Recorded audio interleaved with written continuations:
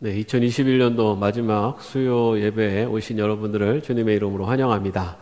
아, 오늘 아, 그 성경의 인물 예수님에 대해서 또 두 번째 말씀을 같이 한번 살펴보도록 하겠습니다. 오늘 먼저 본문 누가복음 4장 18절 19절 말씀 한번 같이 읽겠습니다. 주의 성령이 내게 임하셨으니 이는 가난한 자에게 복음을 전하게 하시려고 내게 기름을 부으시고 나를 보내사 호래된 자에게 자유를 눈먼 자에게 다시 보게 함을 전파하며 눌린 자를 자유롭게 하고 주의 은혜를 전파하게 하려 하심이라 하였더라. 아멘. 예, 지난 시간에는 우리가 예수님의 생애에 대해서 좀 어, 전체적으로 살펴봤습니다. 예수님께서 태어나셔서 어, 그 소년 시절을 거치시고 그리고 어, 청년이 될 때까지 어, 서른 살 때까지의 어, 그 삶을 어, 지나서 그리고 3년 동안의 어, 기간 동안에 공생의 활동을 하시고 그리고 어, 십자가에 죽으셨다 부활하시고 또 승천하신 그 과정을 전체적으로 살펴봤는데 특히 지난 시간에는 예수님이 태어나실 때그 어, 과정들을 조금 더 세밀하게 살펴봤습니다. 오늘은 예수님의 사역에 대해서 살펴볼 것인데요. 근데 예수님의 사역은 너무나 많습니다. 많은 기적을 행하셨고 또 말씀도 전하셨고 어, 여러 가지 그 많은 사역들을 행하셨는데 그 사역들을 크게 어, 예수님께서 하신 사역을 크게 세 가지의 역할로 그렇게 구분을 할 수가 있습니다. 어, 여러분 기억 나신지 모르겠습니다. 두 주 전에 제가 주일 예배 때 어, 말씀을 드렸었는데 예수 그리스도라고 할 때 그리스도가 뭐라고 말씀드렸죠?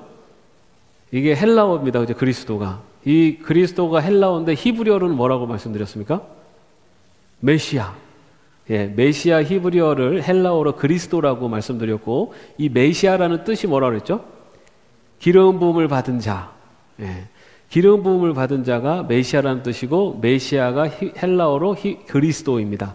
다시 말해서 예수 그리스도라고 하면은 예수는 그리스도시다. 라고 고백을 하는 거죠. 그죠? 자, 그러면 기름 부음을 받은 구약 시대에 새 어, 특별한 사명을 받은 사람들이 있었습니다. 누구, 누구, 누구였습니까? 선지자, 제사장, 왕. 예. 선지자, 제사장, 왕은 어, 구약시대 기름을 부, 기름 부음을 받아서 세움을 받은 사람들이 이 세 사람 세 부류가 있었는데 선지자는 말 그대로 하나님의 말씀을 전하는 자들이죠. 하나님의 말씀을 백성들에게 전하는 사람이 선지자였고 또 제사장은 백성들을 위해서 하나님께 화해 제사를 올리는 어, 역할을 했던 것이 제사장입니다. 그리고 왕은 하나님을 대신해서 하나님의 백성을 다스리는 사람이 왕이었습니다. 이렇게 선지자, 제사장, 왕, 이 역할이 기름 부음을 받은 자, 메시아의 역할인데 예수 그리스도께서 바로 이 세 역할을 다 감당하신 분이 바로 예수님이시다. 그래서 예수님은 이 땅에 오셔서 선지자와 제사장과 왕의 역할을 감당하셨다. 예수님의 사역을 크게 세 역할로 이렇게 나눌 수가 있습니다. 자, 그렇다면 먼저 어, 예수님께서 선지자로서 이 땅에 오셔서 어떠한 역할을 하셨는가라는 것을 한번 살펴보겠습니다. 먼저 선지자는 누구인가? 예, 최초의 선지자는 누구냐면요. 바로 모세입니다. 예, 최초의 선지자는 모세. 어, 모세가 하나님의 말씀을 듣고 그 말씀을 그리고 하나님 율법을 전했죠. 그래서 성경에도 이 그 최초의 선지자로 모세, 모세를 이야기를 합니다. 선지자의 역할이라는 것은 하나님의 말, 보냄을 받아서 백성들에게 하나님의 말씀을 선포하는 자를 선지자다라고 그렇게 이야기합니다. 그래서 이 선지자는요, 어, 하나님의 백성이 어떻게 살아야 되는지를 알려줍니다. 그래서 모세가 모세 하나님이 주신 율법으로 아, 그 이스라엘 백성들에게 그 율법을 전했고요. 그리고 성경에 보면은 이 선지자의 계보가 계속 이어지는 엘리야, 엘리세 때를 거쳐 엘리사 때를 거쳐서 이후에 많은 선지자들이 등장을 하는데 그 선지자들이 등장할 때 또 어떤 시대에 많이 등장을 하냐면은 하나님의 백성이 하나님의 뜻대로 살지 않을 때 그때 그들의 죄악을 고발하면서 심판을 선포하고 회개를 촉구할 때 그때 바로 또 선지자가 어, 많은 역할을 하게 됩니다.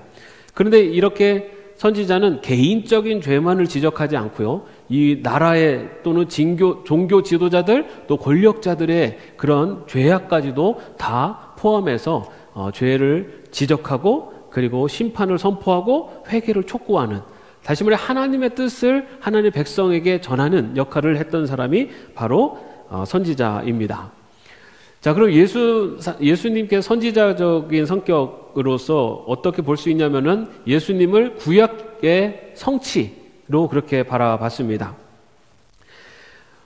그 모세님, 모세는 하나님과 대면하면서 대화했던 최고의 선지자였는데요. 이 모세도 자신보다 더 큰 선지자, 백성들을 하나님께로 돌아오게 할 수 있는 선지자가 나타날 것이다 라고 그렇게 어, 이야기를 합니다. 그래서 신명기 18장 18절에 19절 말씀에 보면은 나는 그들의 동족 가운데서 너와 같은 예언자 한 사람을 이렇게 세워 나의 말을 그의 입에 담아줄 것이다. 그는 내가 명한 모든 것을 그들에게 다 일러줄 것이다. 그가 내 이름으로 말할 때 내 말을 듣지 않는 사람은 내가 벌을 줄 것이다. 라고 말씀하시면서 하나님께서 모세에게 말씀하신 내용이에요.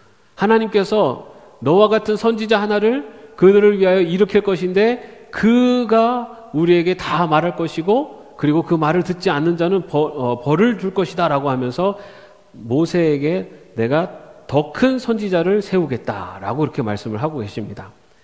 자, 그래서 사람들은 모세보다 더 큰 선지자가 올 것이다 라고 하는 기대가 있었어요. 바로 그 기대가 메시아 기대였죠. 그런데 성경에 보면은 사람들은 예수님을 모세가 예언한 그 선지자다라고 그렇게 생각을 하게 됩니다. 요한복음 6장 14절 말씀에 보면은 사람들은 예수께서 행하신 표징을 보고 이분은 참으로 세상에 오시기로 된 그 예언자다 하고 말하였다라고 기록하고 있습니다. 그래서 사람들은 예수님을 예수님의 그런 행적을 보고 아 이분이 모세를 통해서 말씀 하나님께서 예언하신 더 큰 선지자가 이 예수님이 아니신가라고 그렇게 바라봤다는 겁니다. 예수님은 이 세 가지 사역을 아까 말씀드린 선지자, 제사장, 왕의 사역을 했습니다. 사람들은 예수님이 행하신 사역을 보고 예수님이 그 하나님께서 예언하신 더 큰 선지자가 아니냐라고 그렇게 바라봤다는 겁니다. 그러나 이 구약에서 얘기하고 있는 선지자와 예수님의 차이점이 있습니다. 그것은 구약의 선지자들은 하나님의 말씀을 전했지만 예수님은 자신이 하나님의 말씀 자체였습니다. 그래서 여러분 구약의 선지자들이 말씀을 전할 때는 어떻게 전하냐면은 여호와께서 말씀하시되라고 하면서 하나님의 말씀을 전합니다. 그런데 예수님은 어, 뭐 어떻게 말씀하시죠? 나는 너에게 말한다 이렇게 얘기하세요. 네. 그래서 어, 구약의 선지자들은 하나님의 말씀을 전했지만은 예수님은 예수님 자신이 하나님이셨기 때문에 바로 하나님의 말씀 자체로서 전하신 그런 차이점이 있습니다. 그런데 그러면은 예수님께서는 선지자로서 어, 이, 이 땅에 오셔서 무엇을 선포하셨느냐? 예수님의 많은 가르침, 그리고 많은 어, 선포의 내용들을 보면요. 먼저 예수님은 죄와 어둠 속에 있었던 사람들에게 죄를 일깨워 주셨다. 숨은 그림 찾기도 아니고 중간에 쏙 들어갔네요. 네. 죄를 가르쳐 주셨다. 네. 무엇이 죄인지를 가르쳐 주셨어요. 예수님이 이 땅에 오셔서. 유대인들은 율법을 지키고 자기의 의를 드러내려고 했는데 예수님께서는 자기의 의를 드러내는 그들의 율법주의가 죄다라는 것을 선포하셨습니다. 사람들이 죄인이라고 했던 그 사람들을 죄인이라고 하지 않으시고 자기 의에 갇혀 있는 자들을 죄인이라고 그렇게 선포하셨습니다. 무엇이 죄인지에 대해서 예수님이 선포를 하셨습니다. 그리고 나서 말씀하신 것은 죄의 필연적인 결과는 하나님의 심판이다. 라는 것을 말씀하셨어요. 어.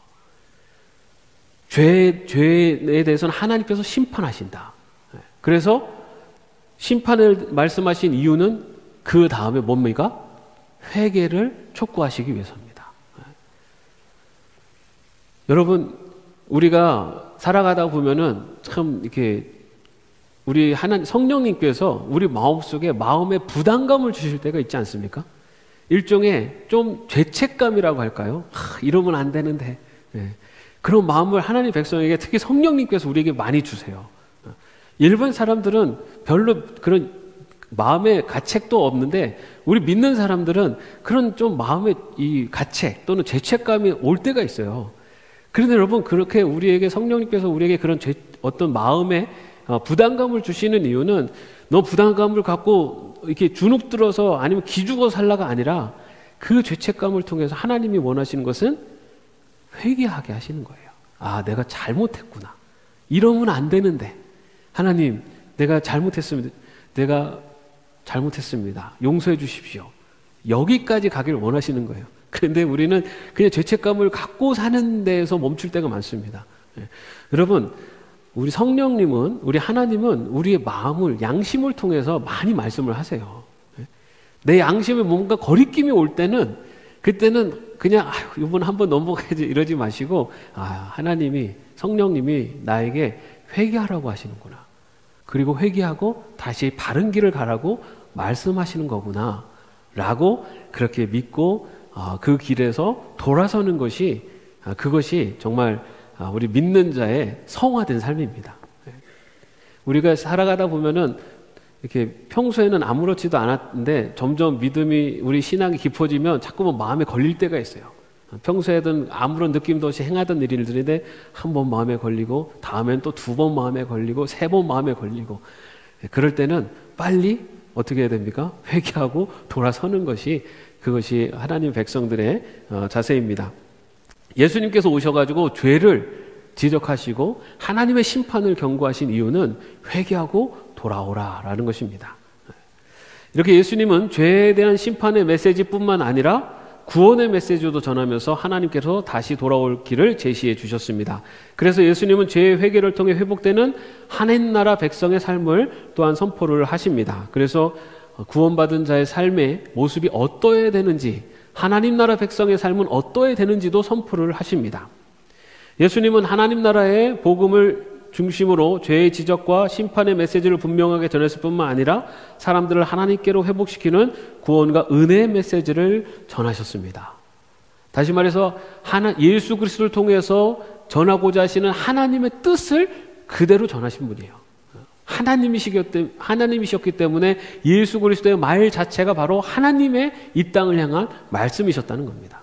하나님이 이 세상, 예수님을 통해 전하고자 하셨던 것은 하나님이 세상을 이처럼 사상, 사랑하사 독생자를 주셨으니 누구든지 그를 믿는 자는 멸망치 않고 구원을 얻게 하려 하십니다.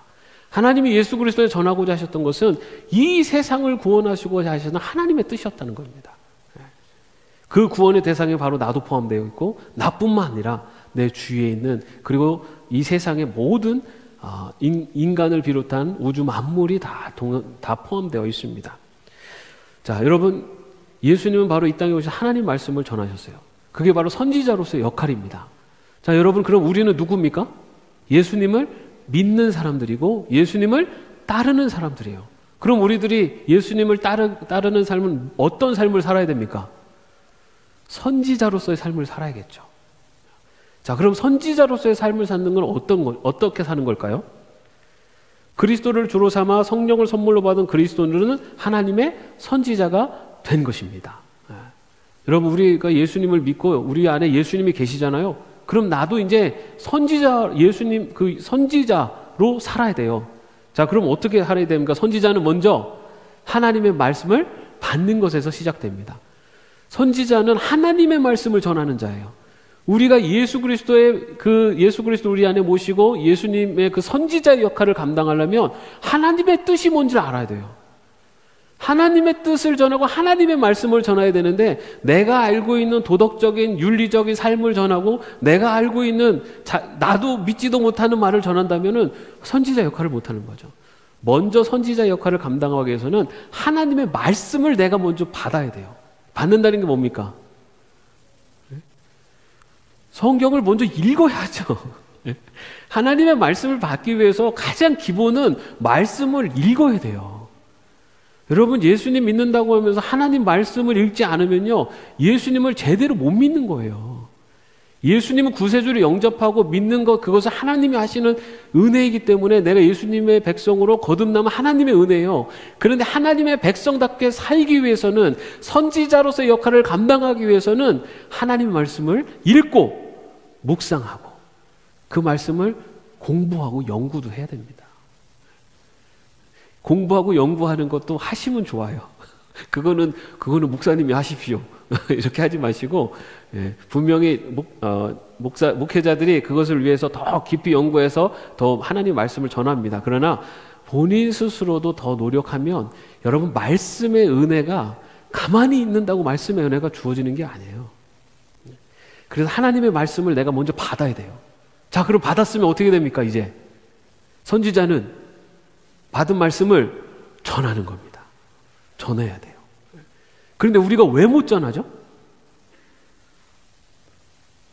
내 안에 내용물이 좀 풍성해야지 좀 전하죠. 내 안에 말씀이 좀 분명해야지 전하죠. 그죠? 그렇다고 여러분들이 다 신학 공부를 하시라는 건 아니에요. 예. 그러나 내가 믿는 예수 그리스도, 내가 믿는 하나님, 내가 믿는 성령님이 어떤 분인지 그거에 대해서만큼은 내가 누군가에게 전할 수 있어요. 그것이 그냥 내 경험적인 체험적인 것만으로 전하는 게 아니라 정말 말씀에서 주시는 그 은혜를 가지고 전할 수 있는 그런 것이 선지자로서 우리가 아, 살아야 되는 삶의 모습입니다. 그래서 하나님 말씀을 가르쳐야 하고 또 하나님의 말씀 위에서 개인과 사회의 죄를 지적하고 회개를 촉구해야 된다. 예. 자, 그런데 중요한 것은 하나님의 말씀 위에서입니다. 여러분, 우리가 이 정치나 사회 문화에 대해서 무관심하면 안 돼요. 기독교인들이. 예? 관심을 가져야 돼요. 그리고 잘못된 것을 지적할 줄도 알아야 되고 잘못된 것을 고칠 줄도 알아야 되고 저 불이한 것에 대해서 항거할 줄도 알아야 됩니다. 그런데 중요한 게 뭐냐면 하나님의 말씀 위에서예요. 이념이나 사상 위에서가 아니에요. 우리 기독교인들이 좀 착각하는 것이 정치에 대해서 이야기를 할 때 이념이나 사상을 가지고서 얘기를 해요. 진보와 보수에 대해서 얘기를 해요. 그게 아니에요, 여러분. 크리스찬은 기독교적인 정신으로 세상을 볼 줄 알아야 됩니다. 하나님의 말씀 위에서. 우리가 정의를 외치고 공의를 외치는 것은 사회 법이 정하기 때문에 정의와 공의가 아니에요. 하나님의 말씀에서 정의와 공의를 깨달아야지 그리고 그 말씀에서 정의와 공의를 외치는 겁니다. 기독교인들은요, 하나님의 말씀에서 사회를 보고 사회의 정의와 공의를 볼 줄 알아야 돼요. 그리고 하나님의 말씀에서 불의한 것에 대해서 항거할 줄도 알아야 됩니다. 그것이 선지자의 역할이었어요. 여러분, 우리가 속해 있는 교단이 한국 기독교 장로회입니다. 한국 기독교 장로회는 선지자적인 종교입니다. 사회 불의와 부정에 대해서 항거했던 유일한 교단이 한국 기독교 장로회였어요. 우리에게 그러한 선지자적인 그런 역할을 감당해내는 것도 우리 기독교인들의 몫이에요. 그런데 중요한 것은 하나님의 말씀 위에서입니다. 하나님의 말씀 위에서를 놓치고 정의와 불의를 외치면 세상적인 판단 기준으로 세상을 보고 그런 세상의 기준으로 갈 수밖에 없어요. 중요한 것은 하나님의 말씀에서 정의를 외치는 그런 선지자의 역할을 감당할 수 있기를 바랍니다. 자, 이어서 제사장입니다. 아, 오늘 시간이 조금 촉박한데요. 좀 빨리 가겠습니다. 자, 제사장은 지난번에 저 설교 시간에 여러분들 말씀을 드렸기 때문에 좀 빨리 가겠습니다. 자, 구약 제사장과의 공통점. 자, 구약 이스라엘의 제사장은 인간의 죄를 속죄, 속하기 위해 속죄 제물을 드림으로써 하나님의 용서를 구하는 중보적 역할을 담당하는 사람을 제사장이었습니다. 이렇게 그런데 예수님이 바로 이 제사장의 역할을 그대로 계승을 하게 됩니다. 그걸 히브리서 2장 17절에서 이렇게 증거하는데요. 그가 하나님 앞에서 자비롭고 성실한 대제사장이 되심으로써 백성의 죄를 대신 갚으시기 위한 것입니다. 라고 하면서 예수님이 대제사장이시다. 라고 신약 성경에서 이렇게 고백을 합니다. 자, 그런데 구약의 제사장과 예수님과의 차이점을 우리가 또 알아야 되는데 구약의 제사장은 자신도 죄인이기 때문에 자신을 위해서 제물을 드려야 했습니다. 여러분 제사장들도 자신이 성전에 들어가기 위해서는 자신의 죄를 위해서 정결 예식을 해야 돼요. 다시 말해서 자인도 죄인이라는 것을 어, 죄인일 수밖에 없기 때문에 정결 예식을 통해서 정결함을 얻고 그 다음에 제사 제사를 드리러 들어갈 수가 있었습니다. 자 그런데 자 그리고 구약의 대제사장은 제물을 바쳤지만 그리스도는 자기 자신이 직접 죄물이 되셨습니다. 대제사 구약의 대제사장은 다른 제물을 갖고 갔지만 예수님은 본인이 대제사장이 되셔서 본인이 제물이 되셨어요. 자, 그것이 무엇을, 무엇을 의미하느냐? 구약의 대제사장은 제물이 불완전한 것이기 때문에 반복해서 제사를 지내야 했지만 그리스도는 완전한 제물이기 때문에 한 번에 모든 죄를 해결하셨다. 왜 예수님께서 완전한 제물이 되셨을까요? 예수님은 죄가 없는 분이기 때문에. 왜 없습니까? 하나님이시기 때문에. 여러분, 예수님이 하나님이신, 하나님이시기 때문에 예수님은 인간이지만 죄가 없는 완전한 인간이세요. 그런데 완전한 인간이신 예수님이 제물이 되셨어요. 구약 시대에는 어떠한 제물을 바쳐도 그 제물은 이미 죄로 물들어 있습니다. 그래서 완전한 용서가 없었어요. 그런데 완전한 죄가 없는 예수님이 제물이 되시고 그 예수님이 죽으심으로 완전하게 용서가 되는 겁니다. 바로 그것이 구약의 어, 제물과 신약의 제물이신 예수님과의 차이점입니다. 구약의 대제사장은 속죄를 위해 오직 자신만 지성소에 들어갈 수 있었지만 예수님은 자신의 완전한 제사를 통해서 우리 모두가 직접 하나님 앞에 나아갈 수 있는 길을 열어 주셨다. 예. 지성소에 오직 대제사장만이 들어갈 수 있었습니다. 제물을 바쳐도 오직 대제사장만이 지성소에 들어갈 수 있었지만 예수님은 자신이 제물이 되어 십자가에 달려 죽으셨을 때 성소의 휘장이 찢어졌습니다. 지성소와 성소를 나누는 휘장이 찢어졌어요. 그래서 이 그것은 무엇을, 무엇을 의미하냐면 예전에는 대제사장만 갈 수 있는 하나님 앞에 대제사장만 갈 수 있었지만 예수 그리스도가 십자가에 달려서 완전한 제물이 되서 죽으심으로 죄의 모든 죄를 다 용서하심으로 이제는 누구든지 예수 그리스도를 의지하여 하나님 앞으로 나아갈 수 있게 되었다라는 것이죠. 그래서 히브리서 10장 19절 20절 말씀에 그러므로 형제자매 여러분 우리는 예수의 피를 힘입어서 담대하게 지성소에 들어가게 되었습니다. 예수께서는 휘장을 뚫고 우리에게 새로운 살 길을 열어 주셨습니다. 라고 그렇게 고백을 하고 있습니다. 자, 그렇다면 우리 안에 누가 계십니까? 예수님이 계세요. 제사장이신 예수님이 계십니다. 자, 그러면 우리는 제사장의 예수님을 따라서 어떻게 살아야 될까요? 먼저 뭐를 제사를 드리는 제사장이 되어야 되겠습니까? 우리가 헌금을 바치면 될까요? 예? 우리가 재물을 바치면 됩니까?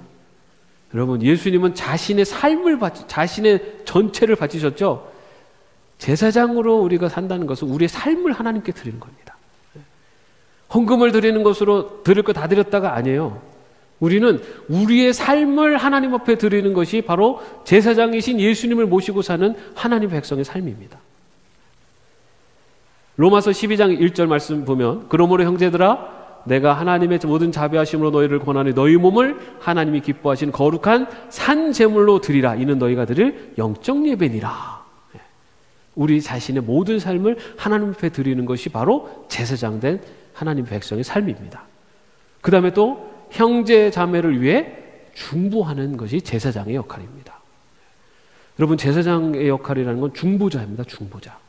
갈등이 있고 분열이 있는 곳에서 중보자의 역할을 감당하는 것. 그것이 또 믿는 자들의 제사장으로의 역할이에요. 여러분, 어, 우리가 신앙생활 하다 보면 특히 교회에서 이렇게 모여서, 모여서 지내다 보면 갈등이 많아요. 그죠? 갈등이 생길 때 그 갈등을 중재할 수 있는 중보할 수 있는 그 사명 그 그런 은사가 제사장의 은사예요. 그래서 정말 그런 아, 제사장의 역할을 우리 주위에서 꼭 할 수 있기를 바랍니다. 예. 그리고 복음을 전하여 죄인들을 하나님과 화해시키는 것이 또한 제사장의 역할입니다. 예. 선지자의 역할도 제사장의 역할도 똑같은 것 하나는 복음을 말씀을 통해 하나님의 백성들을 구원하는 것. 그것이 선지자, 제사장의 공통된 역할입니다. 여러분, 예수님께서 마지막으로 주시는 대사명이 뭐였습니까? 예? 너희는 가서 복음을 전하는 것이에요. 복음을 전해서 그리스도 그 하나님의 백성들을 그들을 영혼을 구원하는 것 그것이 예수님이 주신 대사명이에요. 그런데 그 역할이 제사장의 역할이기도 하고 선지자의 역할이기도 했다는 거예요. 자, 그 다음에 마지막으로 왕입니다. 자, 왕. 자, 왕. 와, 왕입니다, 우리가. 여러분, 내가 왕이라는 거 믿으십니까? 안 믿기시나 봐요. 예. 자, 자, 그러면 먼저 구약시대 이스라엘에서 왕은 하나님의 대리자가 되어서 하나님의 백성을 다스리는 일을 해야 하는 사람이 바로 왕이었습니다. 하나님의 백성을 다스리는 자인데 하나님을 대신해서 다스리는 대리자입니다. 예. 그런데 이 왕이 되기 위해서 가장 중요한 것, 왕이 되기 위해서 가장 중요한 것이 뭐냐면 바로 하나님의 율법 말씀을 지키는 것입니다. 신명기서에 보면 이런 왕으로서의 규례가 있어요. 그 규약이 있어요. 왕에 오른 사람은 레위 사람 제사장 앞에 보관되어 있는 이 율법책을 두루마리에 옮겨 적어 평생 자기 옆에 두고 읽으면서 자기를 택하신 주 하나님 경외하기를 배우며 이 율법의 모든 말씀과 규례를 성실껏 어김없이 지켜야 합니다. 네. 왕이 되는 자는 하나님의 말씀을 평생 옆에 두고 하나님을 경외하고 모든 말씀과 규례를 지켜야 된다. 왕이 돼서 자기의 권력과 힘을 가지고 자기의 뜻을 펼쳐라가 아닙니다. 왕이 된 자는 하나님의 말씀을 지켜야 된다. 그리고 그 유익, 그 유익을 권력을 사용하는 것이 아니라 백성을 섬기는데 사용하는 것이 바로 왕의 역할이었습니다. 그런데 우리가 성경에 보면 어, 구약 성경에 나오는 왕들의 모습을 보면은 그렇지 않은 왕들이 너무 많죠. 자기의 이 유익을 위해서 어, 자기의 권력을 위해서 사는 왕들이 많았어요. 근데 그런 왕들은 다 결국은 심판을 받게 됩니다. 하나님의 말씀을 가까이 두고 하나님의 말씀에 순종하고 그 말씀대로 따르는 왕들이 어, 성경에는 하나님의 뜻대로 살아간 왕으로 그렇게 기록되어 있고 그런 왕을 어, 성경은 하나님의 말씀에 순종한 하나님의 대리자로서 왕으로서 기록하고 있습니다. 자, 그렇다면 예수님께서 이 땅에 또 왕으로 오셨다라는 것입니다. 자, 구약 시대 이스라엘 백성들은 왕이신 메시아가 와서 자신의 나라를 구원할 것을 기대를 했습니다. 자, 그래서 메시아 사상이 유대인들에게는 있었습니다. 그런데 예수님께서 오셨죠. 예수님께서 오셨을 때 예수님을 왕으로 맞이한 사람들이 누굽니까? 동방 박사들이 바로 예수님을 왕으로 이렇게 어, 맞이하게 됩니다. 황금과 모략과 유향을 준비하는데 이것은 어, 왕에게 바치는 선물입니다. 그렇게 해서 예수님이 이 땅에 오신 왕이다라는 것을 동방 박사를 통해서 어, 보여주셨고요. 그런데 그 왕으로 오신 예수님께서 이 땅에 오셔서 하신 역할은 뭐냐? 예수님은 죄와 악마의 세력에 사로잡힌 사람들을 해방시키고 자유를 부여하는 왕이며 그렇게 하는 것을 통해 하나님 나라를 건설하고 회복하시는 하나님 나라의 왕이 왕으로 오셨다는 겁니다. 이 땅의 권력과 이 땅의 어, 부귀 영화를 누리시려고 오신 왕이 아니라 하나, 하나님 죄에 눌, 죄에 잡혀 있는 사람들을 해방시키고 그리고 하나님 나라를 세우시기 위한 왕으로 오셨다는 거예요. 왕으로 오신 예수님은 백성에게 평화와 자유를 선물하셨을 뿐만 아니라 섬김을 통한 권위를 보여주셨다. 네. 이 세상의 왕은 자신의 힘과 권력으로 높아지고 높, 높은 자리에 앉으려고 하지만 예수님이 이루고자 하셨던 하나님 나라는 낮아지는 섬김을 통해 세우시는 나라. 이 나라를 우리 예수님이 보여주시고 또 그러한 나라를 이 땅 가운데 이루어 가셨다는 겁니다. 그리고 또한 예수님은 부활을 통해서 죄와 죽음의 세력을 정복하고 세상을 회복하심으로 만왕의 왕이 되셨고 세상의 주권자가 되셨고 또한 승천하신 예수님은 하나님 우편에 계시고 영광과 종기로 관을 쓰셨고 온 세상을 통치하시는 실제적인 왕으로 군림하셨고 또 장차 예수님은 재림하셔서 만왕의 왕 만주의 주로서 나타나실 것이며 세상을 심판하실 것이다. 예. 예수님이 이 땅에 오셔서 이 땅에 오셔서 하나님의 나라를 시작하셨고 그 하나님의 나라가 어떤 나라인지를 보여주셨어요. 바로 섬김을 통해서 세워지는 나라가 하나님의 나라고 바로 예수님은 또한 부활을 통해서 죄와 죽음의 세력을 이기셔서 이 세상을 하나님의 나라를 회복시키셨고 또 승천하셔서 하나님의 우편에 계시면서 어, 온 세상을 지금도 통치하고 계시고 그리고 다시 오실 때 이 세상의 만왕의 왕으로 오셔서 이 세상을 심판하실 분 바로 이 만왕의 왕이 예수 그리스도시라는 겁니다. 자, 그렇다면 이 왕 대신 예수님을 믿는 우리들은 어떠한 왕으로서의 삶을 살아야 될 것인가? 예. 권력을 누리고 힘을 누리는 왕이 아니었습니다. 예수님은 낮아지시고 섬김으로 이 세상에 하나님 나라를 보여주신 분이세요. 그래서 온 세상의 왕이신 예수 그리스도의 대리자로서 우리도 우리도 또한 다스리는 권세를 부여받았다. 자, 그것을 어떤 권세냐? 우리는 하나님의 뜻을 따라 온 우주 만물을 다스려야 된다. 야, 여러분, 굉장히 큰 업무, 그, 직을 받으셨어요. 이 우주 만물을 다스려야 됩니다. 자, 그런데 성경에도 분명히 우주, 우리, 이 하나님이 이 세상을 창조하시고 인간에게 이 세상을 다스리라 말씀하셨어요. 그죠? 근데 그 다스리라라는 의미가 권력을 하고 쟁취하고 착복하고 하라는 의미가 아닙니다. 관리하라는 의미의 관리. 청지기로서 관리. 예. 그렇기 때문에 우리가 이 세상을 잘 다스리고 관리, 관리하라는 의미입니다. 예.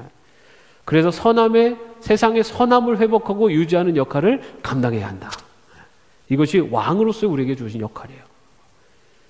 왕이 돼서 이 세상을 내 마음대로 막 다 쓸어버리고 하고 싶은 거 다 쓰고 어, 먹고 싶은 거 다 먹으면서 세상을 세상의 자연물 다 파괴하고 하라는 게 아니라 이 세상의 선함을 유지하고 관리하는 청지교수의 역할을 감당하는 것이 바로 왕으로서의 역할이라는 겁니다.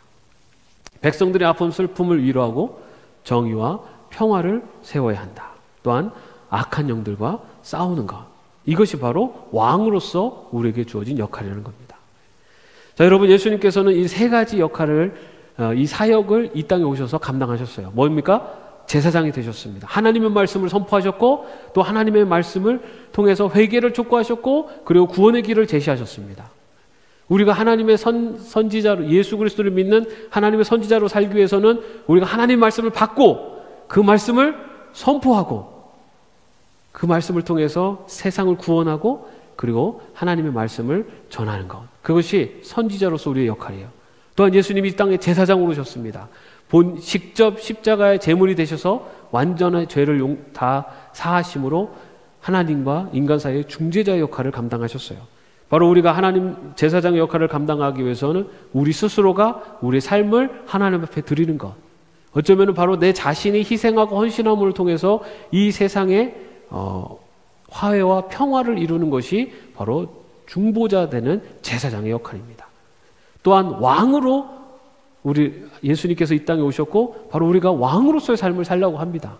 근데 그 왕으로서 삶은 자신을 드러내고 자신의 이익을 위해 사는 것이 아니라 예수님께서 섬김을 통해서 보여주셨던 섬김을 통한 삶이 바로 이 땅의 왕으로서의 삶이고 이 땅의 많은 만물을 다스리는 다시 말해 관리하고 하나님의 창조 질서를 유지해가고 지켜내는 것 그것이 바로 왕으로서의 우리들의 삶이라는 것입니다. 여러분 이처럼 예수 그리스도께서 이 땅에 오셔서 이루신 선지자로서 또 제사장으로서 그리고 왕으로서의 삶을 저와 여러분이 삶으로 예수님을 따라 살아갈 수 있기를 바랍니다. 예, 우리 예담 교회 아닙니까? 예담 교회 뭡니까? 예수님을 닮는 교회 아닙니까? 여러분 우리가 바로 그 선지자와 제사장과 왕의 역할을 감당해 갈 수 있는 것. 그것이 바로 예수님을 닮아가는 것입니다. 저와 여러분의 삶 속에 예수 그리스도 이 세 가지의 아름다운 직분들이 여러분의 삶 속에서 드러나기를 주님의 이름으로 축원합니다. 네, 기도하겠습니다. 주님, 이 땅에 선지자로 제사장으로 왕으로 오신 예수 그리스도를 우리의 마음속에 모시고 살아가는 그래서 우리의 삶 속에 바로 그 선지자의 모습이 그리고 제사장의 모습이 왕의 모습이 나타내어지고 증거되어질 수 있는 저희들의 삶이 되게 하여 주시옵소서. 주 예수 그리스도의 은혜와 하나님의 사랑하심과 성령님의 교통하심과 동행하심이 선지자로 제사장으로 왕으로 부르시는 그 부름에 합당한 삶을 살기로 마음속에 결단하는 죄종들 머리 위에 이제로부터 영원히 함께 없시기를 간절히 축원하옵나이다. 아멘.